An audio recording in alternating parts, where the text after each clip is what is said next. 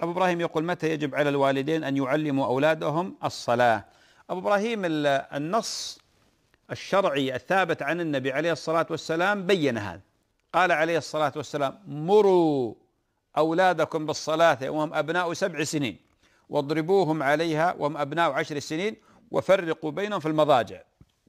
فالأمر يبدأ من سن السابعة وهذا لا يعني أن قبل ذلك ما يؤمر. لا لكن يؤمر على الإرشاد.